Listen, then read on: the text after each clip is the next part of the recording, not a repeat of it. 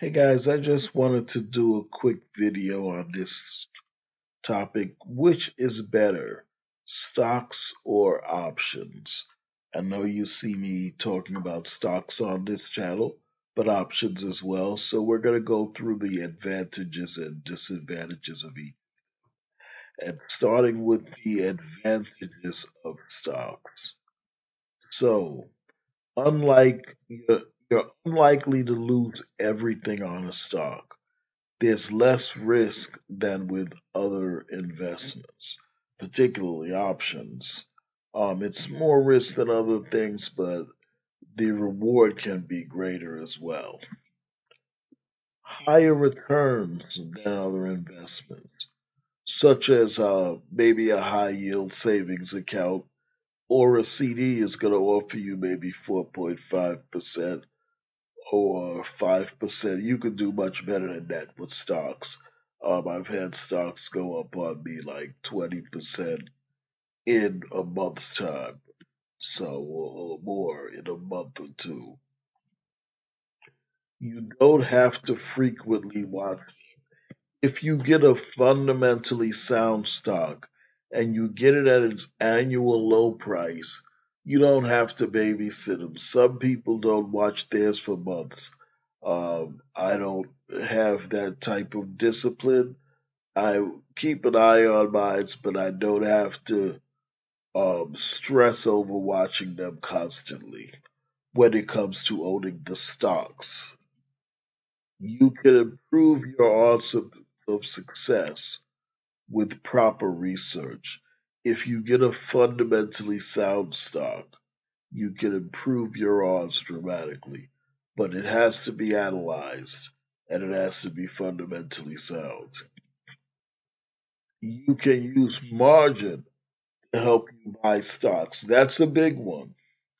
What that means is that if you open a brokerage account and you have like more than $2,000 in that brokerage account at many brokerages, you have access to margin. That means they'll loan you up to 100% of your funds to buy stocks. So, so if I have $3,000 in the account, I can get $3,000 in margin. So although I only have $3,000 in my account, I can buy $6,000 worth of stocks and only have to pay a very small interest rate, even though the money that I'm making if the stock moves up is much more. Now let's look at some of the disadvantages of stocks. It's less return on investment than options. Stocks can give you 2 or 3% a day. Some days it may ride up a lot more, but that's unusual. Some days it may be like 1% or under 1%, but 2 or 3% is acceptable for a day. Things can drop unexpectedly, and I'm about to show you a couple of examples of that.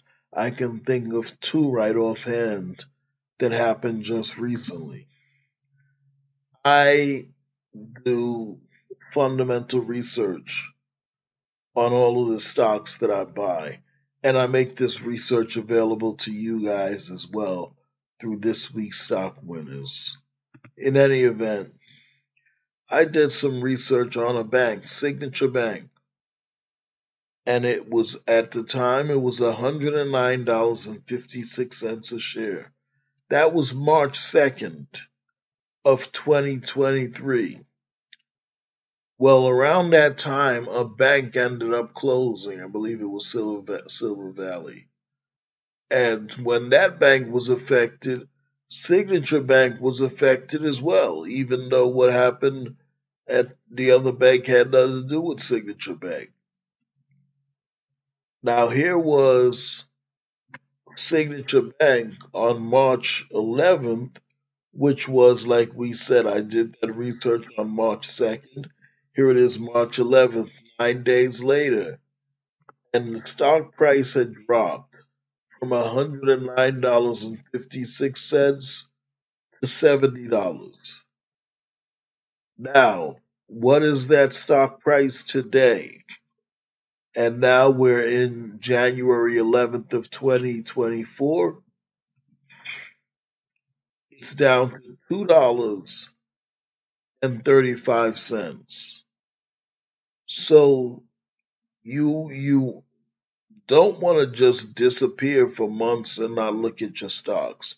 You want to keep your eyes on them, be aware of what's happening, watch the news every once in a while, financial news, you know, be aware of what's happening with them. Another one is Paycom. Paycom is a fundamentally sound company, and they were doing well. They were at their annual low price. They was around two hundred and something dollars a share. All of a sudden, overnight, because of a bad earnings report, Paycom dropped ninety dollars a share in one day. Needless to say, as soon as they did that, I already researched the company. I knew how fundamentally sound they were. And I immediately bought them as soon as they dropped. And I'm up 20% on them to this day. But stocks can drop. It's not as if there's no risk. It's not often, but it can happen. Now, what's the advantages of options? Higher returns than stocks. I told you a, a good stock can go up 2 to 3% a day. A good option can go up 10 or 20% a day or more easily. There's been many months where I've made 50 to 100% return on my money with options. You can improve your odds of success with research because options are based on stocks. So if you've done the fundamental research on the stock and you know the stock is safe to buy, then the same would follow with the option. It's safe to buy.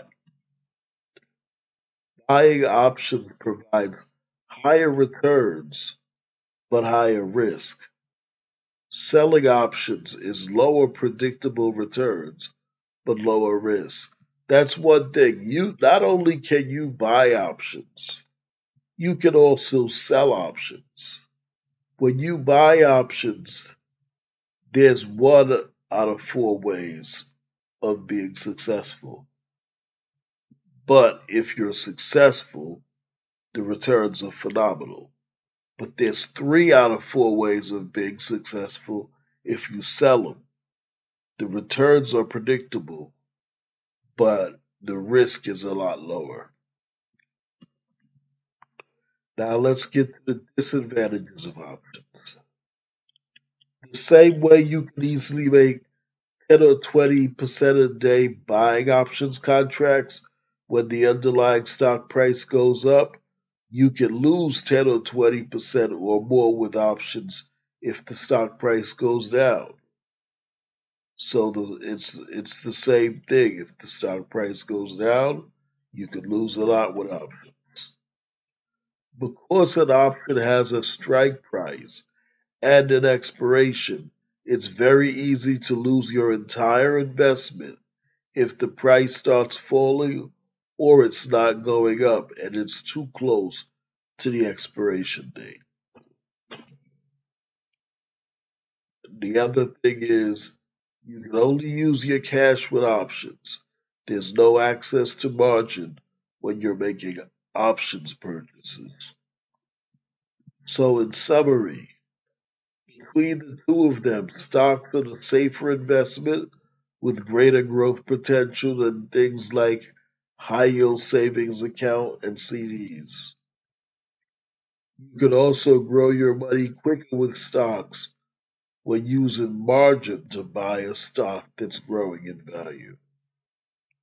Selling options is safe with more predictable returns, giving you three out of four ways of being successful. Buying options is more risky, but with explosive returns. when successful. And just wanted to show you guys something, something I had made before. I actually was doing this before, and I actually got up to month four. And at that time, I wasn't doing 1,000 to 1 million. I was doing double your investment. In other words, I was trading options and doubling my money every month. The first month I had a 250% return. Then I doubled my money every month for like three months. Um, things were going so good. Uh, me and the wife visited Puerto Rico. I figured that, hey, if I'm going to be rolling in the money, may as well get down there. They're not taxing you on your stocks. So, but in any event, then what happened? COVID came along, and with the combination of COVID and inflation, options were sort of thrown off for a while. But now stocks are rising again, and it may be the opportunity to try that again.